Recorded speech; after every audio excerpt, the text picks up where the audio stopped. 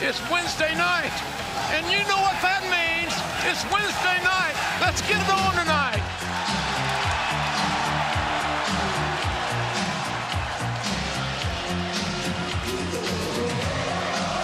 Your opening contest is a 10-man tag team match set for one fall with a 20-minute time limit. Introducing first at a combined weight of 465 pounds, Jungle Boy and Luchasaurus. Jungle Boy and Luchasaurus Jurassic Express, the number one ranked tag team here in AEW. Has there been anybody hotter than this duo, Tony? They are a, a sensational duo.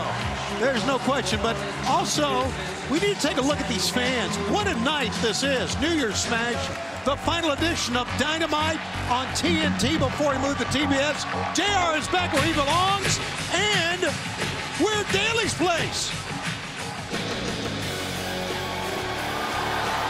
Next from Toronto, Ontario, Canada, weighing 218 pounds, Christian Cage. JR, I think a large part of Jungle Boy and Luchasaurus tag team success could be attributed to this man. I think you're exactly right. Uh, great experience, championship experience, main event level experience at every level, every stop along the way that he's been is the young man from Ontario.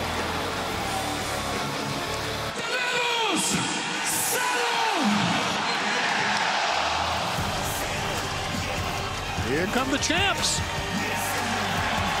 And being accompanied by Alex Abrahantes from Mexico City, Mexico. At a combined weight of 409 pounds, they are the AEW World Tag Team Champions, the Lucha Brothers. Well, these dudes are the benchmark. They're the best team in AEW. And the reason I can say that is they have the titles. Perhaps the best tag team in all of professional wrestling today. But there are two men that take umbrage with that assessment.